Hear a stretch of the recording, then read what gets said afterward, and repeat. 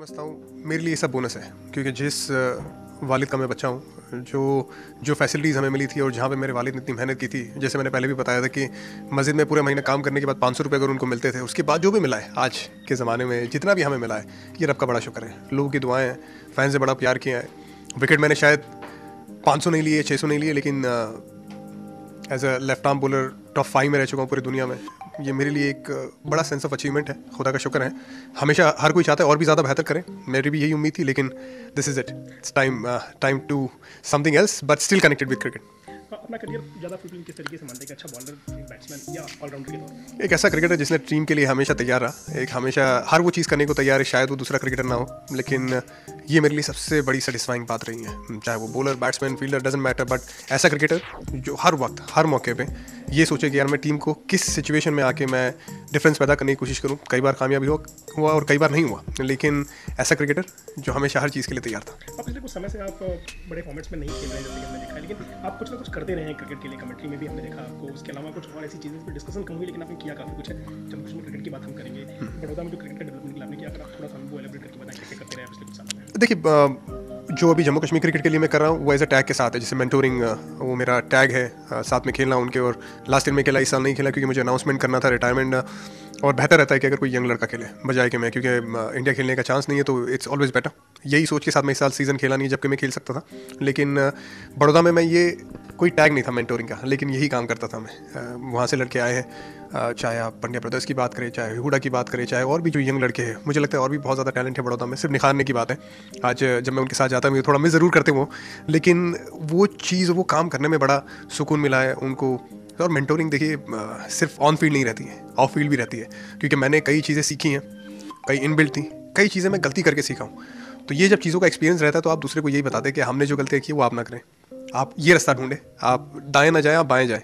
तो वो सारी चीज़ें करने में बड़ा मज़ा आता है। और जैसे अभी लकीली दो लड़के जम्मू कश्मीर से आईपीएल को सिलेक्ट हुए और मुझे लगता है, उम्मीद है, मुल्क को भी रिप्रेजेंट करेंगे आने वाले वक्त में। और उतना टैलेंट है, उतना दम है, सिर्फ़ अपॉर्चुनिटी की बात है। और साथ ही में जैसे, और जो लड़का रडार में नहीं भी रहता है अगर मुझे लगता है उसमें दम है तो मैं उसे ऑफ़ फ़ील्ड वाली जो मेंटोरिंग है, उसे मैं छोड़ता नहीं हूँ, बिल्कुल भी। मैं हमेशा उसके साथ में रहता हूँ।